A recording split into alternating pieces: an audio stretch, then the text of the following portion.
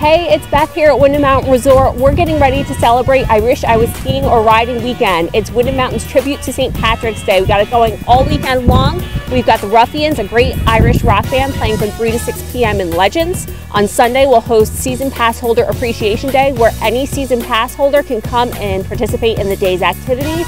And finally, we're going to have tubing into the Big Air Bag again for the second weekend. And if you want to see what that's all about, keep watching.